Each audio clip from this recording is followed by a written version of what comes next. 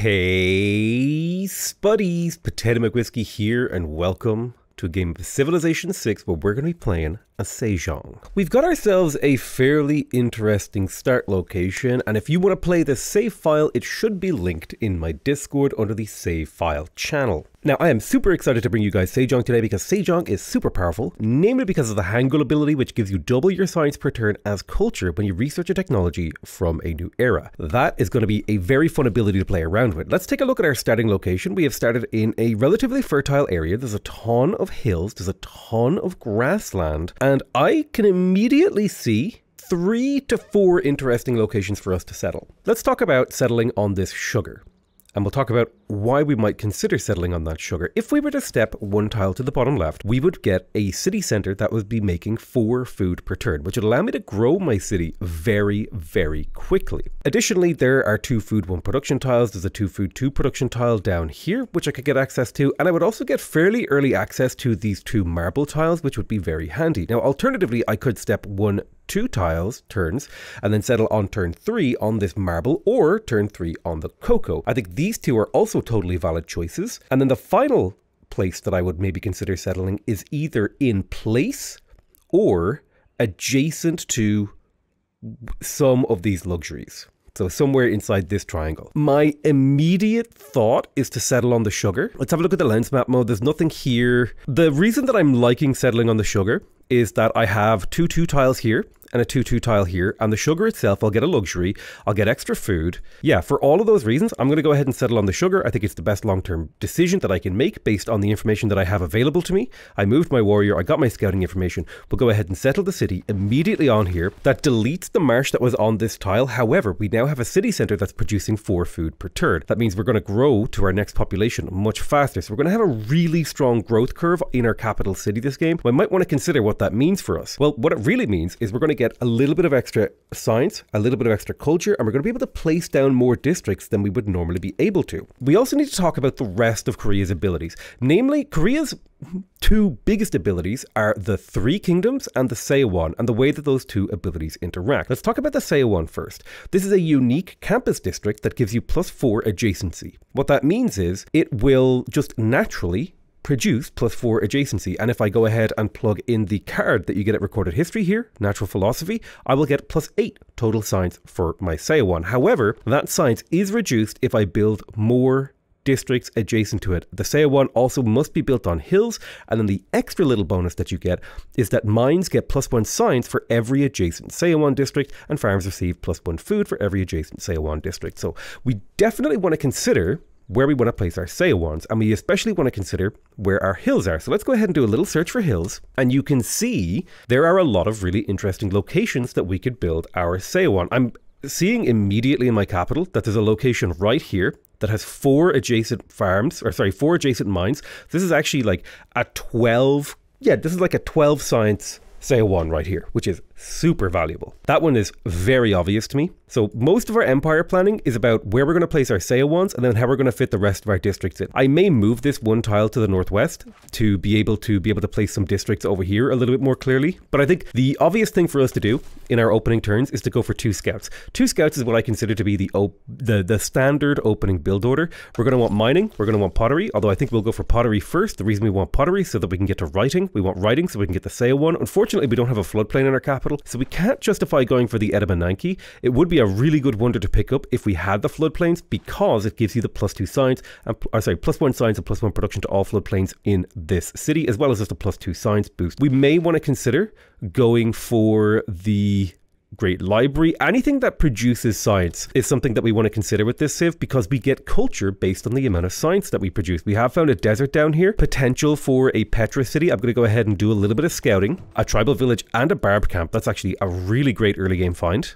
Let's grab that tribal village. It was a boost for sailing. That's quite nice because I don't see any coast anywhere nearby. So it's unlikely that we will get the sailing boost early into this game. And we can go ahead and hit this barb camp once and then we will heal up with our warrior. This is like the optimal path, in my opinion, to clearing a barb camp with a warrior before you have the discipline card. Hit it once, heal up, wait for the discipline card. That's the that's the uh, that's the route that I take. We've unlocked pottery, which is the first step towards unlocking the Seowon, which is a district that we want to rush. The perfect early game build order for Korea, in my opinion, is two scouts into two settlers into um, three Seowons. That is the like, if you can pull that off, that is optimal. We're going to go ahead and grab Discipline to be able to kill barbarians more easily, and we're going to grab God King to get our Pantheon. Pantheon, of course, giving you a potentially really powerful bonus throughout the game. We're going to attack one more time with our warrior and then heal for another turn or two. Now that we have Code of Laws, we need to think about our next pathway. I usually like to go for colonization early so that we can transition into settler production after we have our Seowons up. So that's going to be the direction that I go. And I'm going to try to scout kind of radially here. So I'm going to scout to the south and then loop around. Some very nice mountains here. If I was playing another save that, you know, scaled off of mountains, that would be pretty good. But I don't really particularly care that much. I'm going to send this scout to the east because I want to know what's going on over here because I'm about to start producing my first settler and I want to know where that settler is going. I have 77 gold in the bank, two turns until the marble is gained. So I'm going to go ahead and buy the two food, two production tile because that is just a higher quality tile. Again, remember, it costs me two food to work every tile. So this tile costs two food and gains two food and gains one production, which means in actuality, this tile is only producing one production. This tile is producing two production, which means it's twice as good as this tile. So very, very important that you optimize uh, which tiles you're working very early into the game because it makes a very, very big difference, the relative amount of value. Um, so if something like this happens where a barb spawns in a camp that you're clearing, and hopefully you kept your warrior's health high, just fortify on defensive terrain like a hill, take your licks, you have plus five combat strength. They'll have a hard time killing you. You should level up and you should um, be able to get the battle cry promotion, which will give you a chance to clear out the enemy units. All right, nice. The enemy Spearman actually killed himself on me, which will give me an opportunity to take the Battlecry promotion, and we can step onto this tribal village, getting the boost for craftsmanship. Not really the kind of boost I would look for early game. We don't actually care that much if Barbs find our capital, because we haven't actually built any infrastructure for that to matter. Now, this Barb camp was six tiles in range of our city, which means we get plus three era score for clearing it, which is always nice. You can do the counting one, two, three, four, five, six, and we got a nice chunk of gold as well out of that. We may want to consider buying an early builder after we research mining. We do have one, two really good quarry tiles and getting plus one production on both of those as well as the culture would be very nice. It would give us a very, very good early game surplus. We could alternatively consider buying another tile to get another plus one production. That's something that we can have a little think about. We don't have to make that decision right now. We have time. Looks like I'm seeing a lot of barbarian scouts on the map, which makes me feel like there's a lot of barb camps around. I switched away from researching writing because I had a feeling I might meet another player. That's why I switched to mining, and now we have writing boosted, so we can get Seowons whenever we need them. Um, I typically do like to get my monuments before I get my Seowons, but that is not something I super hardcore you know, kind of knock down the build on. We were the first to find Caguana. That is a cultural city state that's going to give us plus one culture per turn. They want me to kill another unit. I've already killed two barbs. If I kill another barb, I will get the boost for bronze working, which is to kill three barbarians. That would get me another envoy in here, which would put me one away from being suzerain, which would allow me to access their suzerain bonus, which is the ability to build bateys, which are builders, which gives you plus one culture and plus one culture for every adjacent bonus resource and entertainment complex, increased to plus two when exploration is discovered, and it also provides tourism after flight. That might be worth it for me to build a couple of these around my empire in particularly rich locations. If I do a little bit of a search here for bonus resources, you can see, for example, there would be like a really interesting Batey location right here. That's a plus four Batey, potentially a plus eight. I'm thinking anything that would be, I think anything that's a plus three or better, these might be worth considering. Just you know, every now and again throughout my empire, like there could be one right here. You know, th- this is like a little bit of extra culture that we can draw in uh, in our science game. And culture is an important yield when you're going for science. In fact, I think some players who are really good at the game, they argue that culture is more important than science, at least early in the game, which is kind of fun about Sejong because he gets a ton of culture from getting science early game. I could sell off my sugar, but I don't want to do that unless I'll be able to buy a builder with that. And I won't because it's only 26 gold, which is not worth it for me. All right, let's go ahead and kill this scout. That'll boost bronze working, getting me an envoy with Caguana, bringing me up to two, and the boost for bronze working itself is just really handy to have. I will accept the Netherlands delegation because I want to have positive relations with them, and it will also theoretically later on in the game lead to us getting more Diplo favor. This scout has managed to level up. Let's go ahead and keep scouting around. I'm going to try and get him to loop back this way, and I need to start considering where my cities are going to go. Um, we do have, I feel like, an incredible Petra city here. I'm thinking like there might be a Seowon this tile, and then there would be a mine, a mine, and a mine. The question is, where does the city itself go? Well, let's open up uh, control. Sorry, um, I'm playing with some map lens mod. So if I press 4 and hold down control, it will actually show me the influence radius of a city. And I can then kind of think about where I might want to put a city. You can see the red tiles, uh, or sorry, the bright green tiles are things that have hills, I believe. Uh, grey tiles are flat, purple are resources and then red are unworkable tiles. So I think the best place to settle would be on this hill. If I were to get a Petra in this city, I would hit one, two, three, four, five, six, seven, eight, eight Petra hills. No, I tell a lie. That's 10 Petra hills. That's 11 Petra hills if I settle on this hill. So we're going to rush this city and try to get it developing. We're going to try to rush a granary in it rather than go for the Seowon. And we're going to try to get both of these um, desert oases up and then some of these mines up. These uh this will be this will be a significant downgrade in the quality of my empire to settle the city. But the long term implications of having a city here that's relatively strong, ready to build a Petra, could be quite handy. And so that's why I'm considering it as our first settle. When normally I would never settle the city, but the potential of uh, at 11, 12 hill Petra with Korea. No Ruhr Valley later in the game, which does kind of suck, but that's the way the cookie crumbles. Do I optimize for the Seowon maximum value, or yeah, I think I think I optimize for maximum Seowon value here in my capital because my capital is going to get a builder after it's to after it gets its settler and its Seowon and gets itself up and running and stuff like that. We're not too far from getting a builder. You head down this way. Go ahead and get that second settler. It's very very important that you get the, that early three cities. Right, there's writing. We can now go ahead place the Seowon. The question is, do I want to buy the tile and place it now, or do I want to wait? I could buy it and place it now. I don't think it's actually that important this early. I think I would rather hold on um, because I think it would be better if I could buy a builder and then maybe find something to sell. Yeah, if I buy a builder, if I could sell this to her for a little bit more money, I could buy the builder sooner and buy the tile. Yeah, so I'd rather buy the builder so that I can get these quarries online because these quarries are actually really valuable, is the thing. They're just super, super valuable.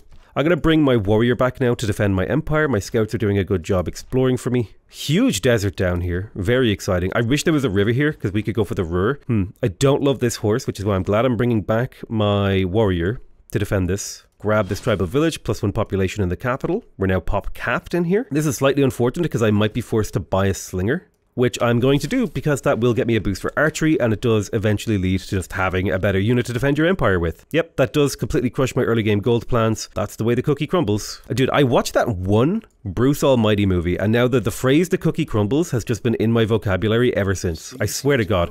We did find Mount Vesuvius. We're relatively low on the era score here, which is slightly unfortunate. I wish we were a bit further along towards a golden age. We haven't found that many people or hit that many natural wonders or, you know, continent splits and stuff like that. Let's go ahead and settle this city. Boom. There's early empire boosted. I will remember this. And speaking of early empire being boosted, we don't even have our pantheon yet. So we'll go for straight for state workforce. We do have a strong early game culture um, right now. We actually, we're on par scientifically and culturally with Wilhelmina. Did I forget to set this to deity? God Almighty? No. Okay, let me, I'll load up, I'll load up the, uh, I'll load up the configuration that I had, and we'll just we'll just we'll roll a new map. No, I forgot to change it to deity again. Oh God, dude, uh, we got such a cool start too. God damn it, I'm gonna get a really bad one now. I bet you.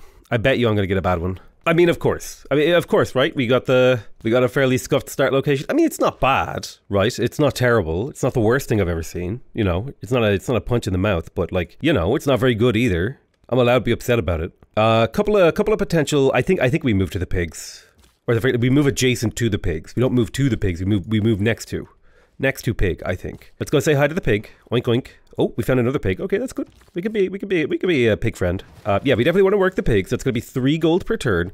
Open up with the double scout. Man, that start location that we had though, it was so good. It was real, real good. Weirdly enough, that spearman decided to attack me. That's kind of uh, a little odd. Uh, I'm not going to love the amount of units that are going to spawn here. We have found Arabia already, which makes me deeply uncomfortable. I really don't want to be finding another player at this phase of the game. Um, I also don't like one, two, three, four, five, six, that he might contest me for this barb camp. Oh, can I clear this? Oh man, we sniped it. We get the 30 gold and the clear and the three uh, three era score that was actually based. Oh, and we found Russia. Okay, that's a little bit scary too. Could exchange information on his capital. He's not, he's kind of far away. Uh, let's go ahead and get the scouting information. I want to scout towards Arabia. I'll send you over here to clear this. The more information I know about where Arabia came from, the more information I'll know about how hard I have to forward settle him. So just send him that way. I don't like that he's sending units my way. Is he actually coming for me? Let me have a look. Uh, let's go ahead and get mining. It does look like he's coming for me, so we will go ahead and stop off for a slinger before we go exploring. We did spawn right next to Pantanal, though. Okay, this is kind of interesting. Opens up a lot of early game opportunities. Let's make sure we get a really good scout on Arabia. You're going to stand in this river chunk because this means you're basically this is like a wall. Rivers are like early game walls, right? They protect your units from attacks, especially particularly melee attacks. Yep, like that. What we were expecting. Um, not a fan. Not a fan of the early war, gonna be honest with you. I'm gonna step to here so that I get attacked by this warrior only and then I can promote. Yeah, you step that settler out of that city. Go go ahead, make my day, pal. Step that settler. Oh, there's a, there's a big war going on. There's a three-way war, uh, which means I just need to survive. If there's a if there's a three-way giga war happening, I just need to stay alive. I don't like the idea of taking a double attack. If you fortify, is that enough to protect you? Let me think about this. It might not be. God, that's so much attack. I don't think you survive this unless I move you. If I move you to here, though, I think you do survive if this guy attacks you. So this is like a good bait to step this way. We do a little, we do a little, you know, a little tricking, a little tricking and changing and, confusing people. Perfect. We run to the hills. We swing and a miss. We boom, boom, boom. And now we just go to double settlers. I feel perfectly safe here. This guy's going to promote next turn. He'll fortify and promote. He'll be hard to kill. Oh, God, I want to steal the settler so bad. God, I want to steal that settler so bad. God, I'm going to steal the settler. Oh, it's my settler now. Oh, God. Why? This is chaos.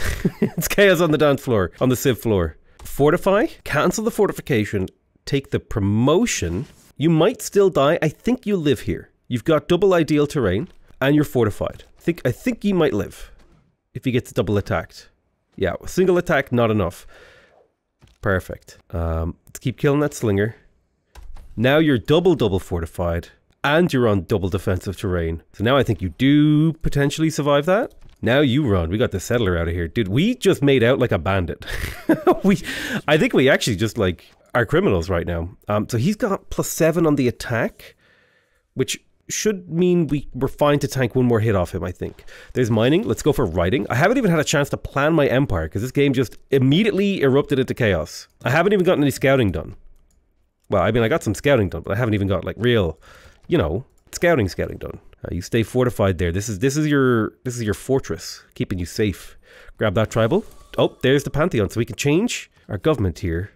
Um, I might settle the honey. I think I will settle the honey. I could also forward settle Arabia right there, and that would be a very. I think I would rather settle the honey or maybe the cattle. Let's chase this guy down. I think we can catch him and kill him. Um, Oh, where do we settle this guy? Do we send him to the front? If I settle the honey, do do do do do do.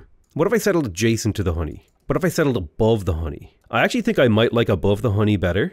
Let's see if we can't have a little look around here. Maybe this is a better tile. We can always we can always come back. Remember, this settler was free essentially. Now, in terms of pantheons, I do think Divine Spark is pretty good. Right, lots of great people points.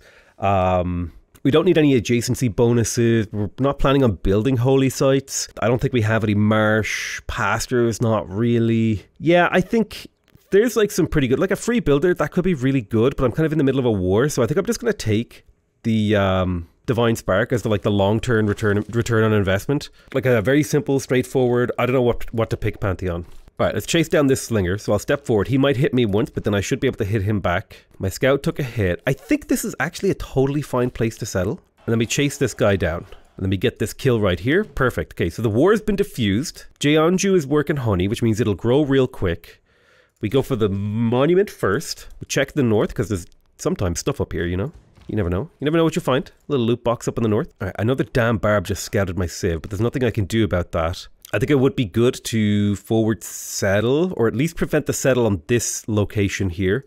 So if I were to settle on this cattle, I think that prevents Arabia from really settling towards me, gives me a relatively good defensive line using these mountains and these lakes. So I'm going to go ahead and move my settler towards that cattle, nice and safe location, which is, a, you know, odd because, you know, it's adjacent to a volcano. You wouldn't necessarily consider, you know, a volcano to be somewhere that you would be, be safe in. Um, but it just turns out that in this circumstance, that uh, just so happens to be true, that that is what we are doing. No game modes in this game. Uh, fuck. Well, I mean, I stole a settler, so that doesn't really put me back that badly. But what is really important is that I get that settler back. Let me get a second warrior to make that a reality, that I'll get that back. Um, we need to play this very carefully. I need to get my scout around to prevent the uh, the guy from escaping. Let's grab animal husbandry, early empire. And yeah, I think things are going kind of okay here. Scout is around to intercept. Warrior steps one tile to the left, slinger forward, attacks. And boom. Okay, we got the settler back. Okay, that's a minor setback. Cost me a purchase. I'll buy a builder next. I think that's going to be the next purchase for us. More war. Yeah, that's, you know, this is, you know, we're finding city-states through war. Mythla Cardiff. Pretty cool stuff. It's like what we, what we like to see. Um, unfortunately, the cattle was blown up, which sucks. Um, and this city is now minus two loyalty. We should be able to survive that. It's minus four loyalty. That's rough, but survivable. Provided we can um, get the growth in here. I'm going to steal this tile because it's actually a really good tile. Three food, one production. That'll get the city going. Um, hopefully, the faster we get the higher population, the more loyalty defense we have. We will be going into a normal age, which means we won't have too much trouble with loyalty in the next era. I'd like to clear this. Let's clear this bad boy. Plus three era score and a bit of gold. Uh, we need to start thinking about where our Seowons are going. So let's do a little bit of a search for hills. I'm not talking so much about like my strategy because I talked a lot in the uh, the failed game. The little little uh, the little false start that we had. Um, two really good Seowons in here actually. If I were to go Seowon and Seowon, we got a ton of hillage out of that. Um, another really decent Seowon over here. Looking good, looking good pretty okay. Seowons over here. We need to think a little bit. It could be worth it to preserve this, like here, maybe. I don't know, could be. It might not be worth it, but it could be. So with writing, we want to avoid researching tech from the next era. So let's go ahead and fill out this era's tech tree. Korea has a very unique way of engaging with the with the tech tree that I really like, or at least the Sejong's Korea does. Um, let's go ahead and see if these guys want a peace. I'm at the point now where like I don't really care for these wars to continue. I got what I wanted out of them, or I managed to defend myself from aggression. Like either you know, depending on which war you want to talk about, that was the outcome of the war. I either defended myself or I got what I wanted. Uh, hopefully, those two guys are still bumping heads, which is just going to slow them down, which gives me plenty of time to catch up and actually potentially even get ahead. So, we're actually going to get four cities here in the opening stages of the game, um, which is typically unheard of for me. We have 300 gold in the bank. I'm going to go ahead and buy a builder in Seoul. I'm also going to go ahead and buy the tile that we build the Seowon on. That will be a plus four Seowon. Very nice. We will quickly grab... Yeah, we're going to finish the Seowon. Yeah, we'll finish the Seowon. Yep, yep, yep, yep, yep, yep, yep. Go ahead and kill that. Clear the camp. We could send a settler over there and get plus three era score. And then I'm... Ooh. Ooh. Ooh. If I, sent a settler to the east and then I cleared this barb camp, I could get plus three era score, plus four from the Seowon. I would be one era score away from a golden age. That is an interesting proposition.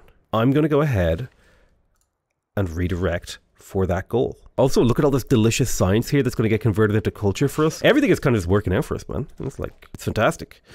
Um, we don't want to clear that. He should retreat. You're moving east. All right, we just need to find another player or something. Just one era score, either a continent, another player, literally anything for plus one era score. Tribal village will do. Um, shoot.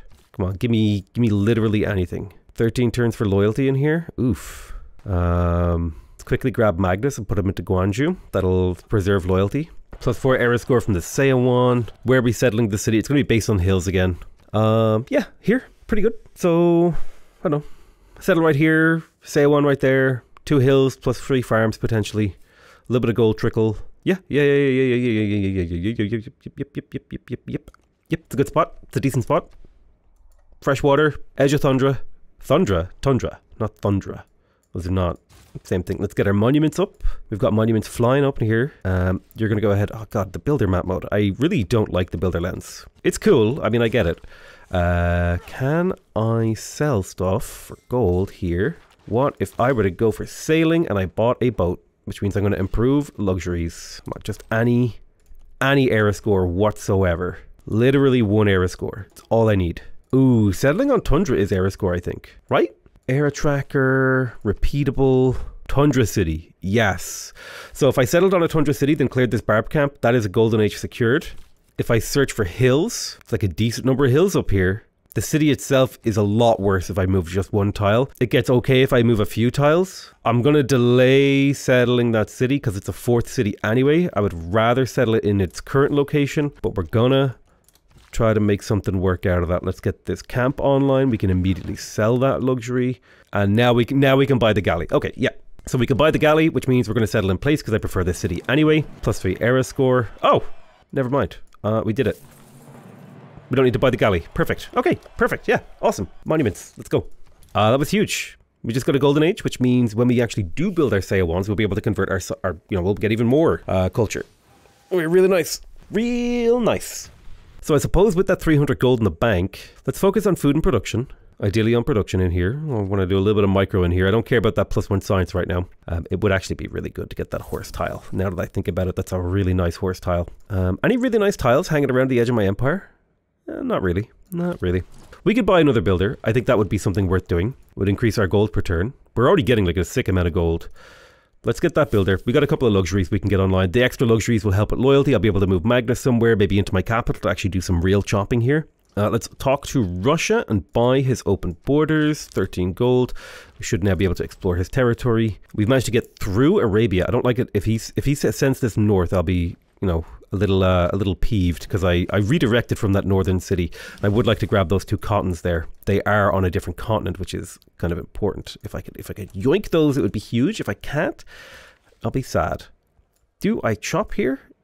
If I chop, I could start the Seowon a few turns sooner, or I could have the luxury. I think I'm to chop. I'm to chop, get that Seowon real fast, four turns on it, I'm going to pop a mine right there, boom, to give this city an actual... Oh, I didn't mean to make era score, whoops. So now all the tiles are producing production, so now I don't feel so bad about this city. But then I'll, I'll get the luxuries up. Um, yeah, feeling super good about the position right now. Like, we're up to 13 science per turn, we're making 6 culture.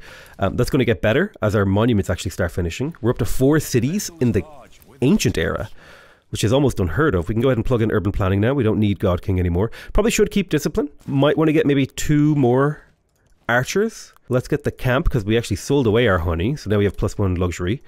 And we want to avoid researching tech. Let's go ahead and get astrology. Boom, boom, boom. Just fill out all this era's tech. We want to delay the culture boost from our science as long as possible. It's a, it's a really interestingly balanced mechanic because the more science you make, the faster you trigger the boost, which means the less culture that you make. But the less science that you make, the more time you have to build up your science, which means the more culture you get. So it kind of actually has like a, a self inhibitor in it, which is a, a, really interesting thing. Like to, to, to have balance wise. Uh, let's go get that amber online. I need a lot of builders. All right, we got the monument in the capital. We definitely want to get the library. Plus two science per turn is huge. The Seowon, I mean, we would love to get a builder in here, but I think we get these libraries up real fast. We can get Hypatia, or let's see, have a look. Um, if we take a look at the scientific people, yeah, it looks like none of the scientific people have gone. Russia's about to no, someone else is going to get one.